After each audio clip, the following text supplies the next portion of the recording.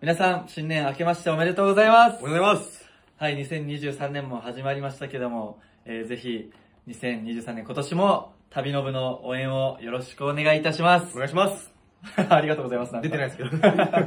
まあ、いつかまた一緒に旅ができたらいいなと思います。皆さん楽しみにしててください。